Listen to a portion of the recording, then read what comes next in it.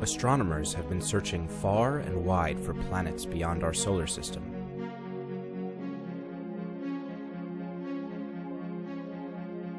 Most of the 800 confirmed discoveries have come from the Kepler Space Telescope, in a region extending 3,000 light years from Earth.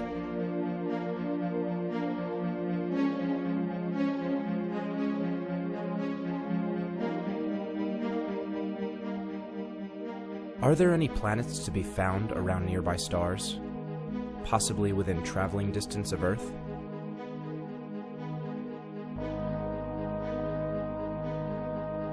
The answer was no, until now.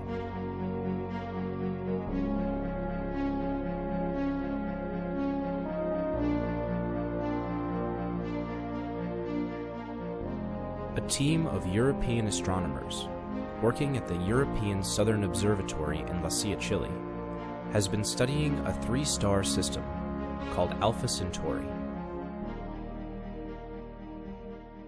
The nearest is Proxima Centauri, a mere 4.2 light years away, the closest star to our Sun.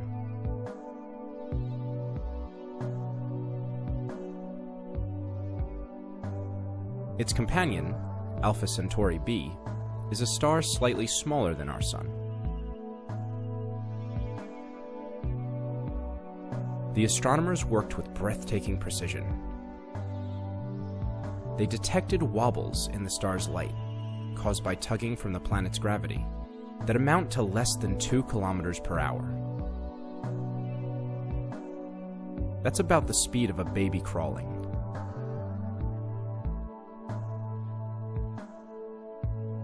Astronomers have speculated about planets orbiting these bodies since the 19th century.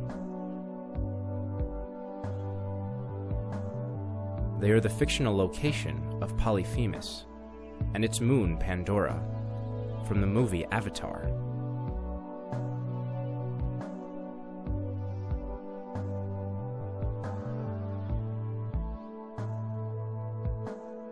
Yet, Few astronomers today expect to find a solar system there.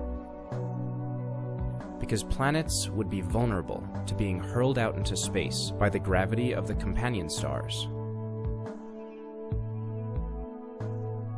In fact, this one survives by literally hugging its parent star. At a distance much closer than planet Mercury is to our Sun. It roasts in temperatures over 1200 degrees Celsius.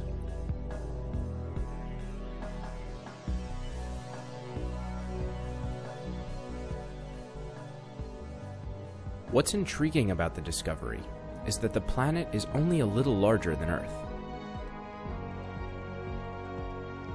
It's the smallest exoplanet found to date. It seems only a matter of time till we find others just like it. Somewhere in the neighborhood of the Sun, far enough out for liquid water to flow, yet still firmly held by the star's gravity.